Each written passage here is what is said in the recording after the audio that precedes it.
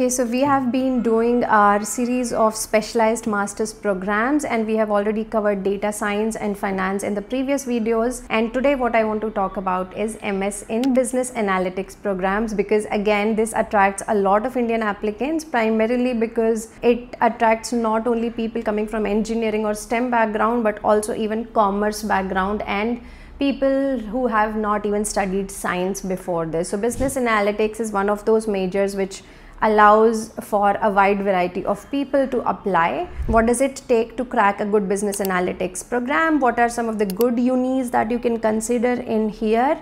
And other tips for your applications all on the other side of the intro. Please keep watching.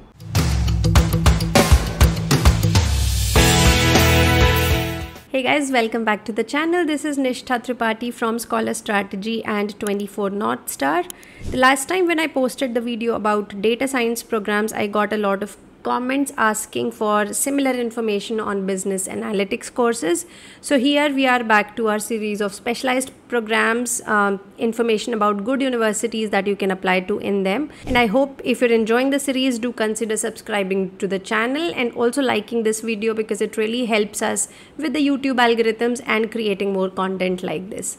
Now, I'll be covering two points today. Number one is who should apply for business analytics and second is best universities to study business analytics. So let's start with who should apply for this course. Now best part about masters in business analytics courses is that anybody can apply to them. That is you don't have to come from engineering or IT background for this. You might come from business arts science or any background and get into this field.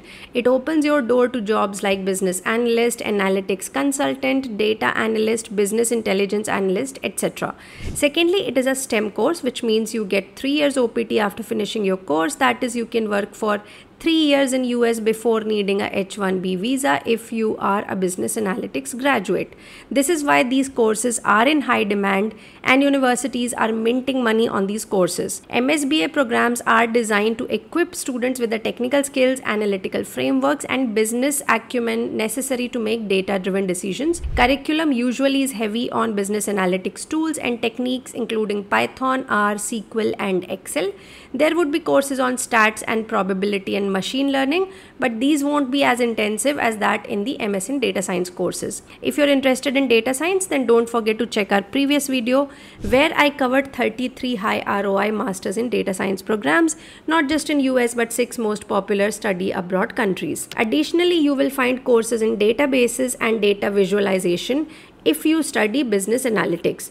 Often these courses may offer a special track in financial analytics or marketing analytics or supply chain analytics, etc. So you can apply analytics in any of the domains that you are interested in. Basically, if you want to switch from a non-IT field to a tech oriented company and want a decent salary, business analytics is a pretty good course. My main concern with it is that a lot of people are applying it for it these days because everyone wants an entry in a STEM career in US and this is one of the best ways to do it. So competition for jobs will be high which means job will not be that easy to find. So do keep that in mind. Don't think of this as a easy shortcut.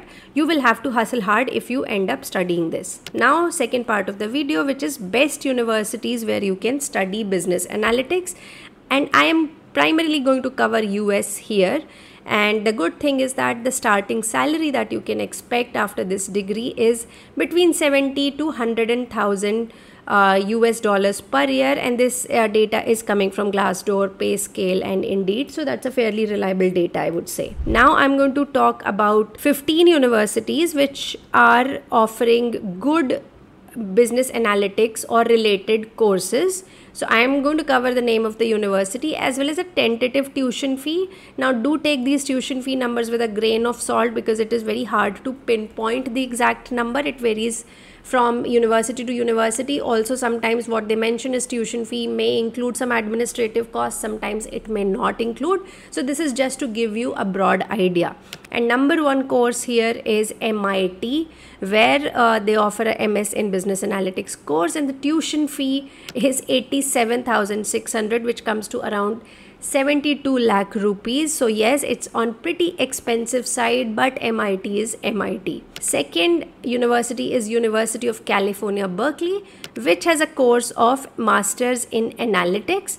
Number 3 is University of California, Los Angeles, which has a MS in BA course. Now, all the University of Californias, especially the ones around Silicon Valley, you can expect a tuition around $68,000. At number 4, we have University of Texas at Austin which has a one to one and a half years masters in business analytics courses. The tuition fee here would be $53000 the good thing about texas is it's indian friendly and austin is definitely a place where a lot of tech companies have moved recently. Even their headquarters have been moved to austin so it's a it's a pretty good and job friendly place i would say. Number 5 we have university of Chicago, which has a MS in Analytics course, it is on the expensive side because the tuition fee can go up to $71,000. Number six, you can consider Georgia Institute of Technology, which again has a MS in Analytics course. The tuition fee here would be $54,000. At number seven, I have University of California, San Diego. The tuition fee again similar to 67,950 or roughly 68,000 dollars for international students. At number 8 we have Purdue University where tuition fee is around $56,700. Number 9 another UC UC Davis. So it seems like a lot of University of California campuses are offering the MS in Business Analytics courses. So the fee for Davis seems slightly low around $60,000. At number 10 we have Michigan State University tuition fee is on the low side around $39,000. Then we have Arizona State University which also advertises this course a lot. It's a one year MS in Business Analytics course is pretty expensive for that around $61,000. Then number 12 we have Washington University at St. Louis which offers MS in Data Analytics and Statistics course. The tuition fee here would be $61,000. At number 13 we have another UC this time University of California at Irvine campus. The tuition fee here is $65,000 600 and then we have Emory University in Atlanta. The tuition fee comes to around 69,000 so yes Emory is on the expensive side. And number 15 I would pick is University of Massachusetts Amherst fairly nearby from Boston so a good location. And fee is also on a decent level like $40,000 so these are 15 universities you can consider if you're focused on business analytics course. Again do not confuse business analytics and data science they are two separate course with separate focus and, and curriculum focus varies a lot. One is more technical one is more business oriented.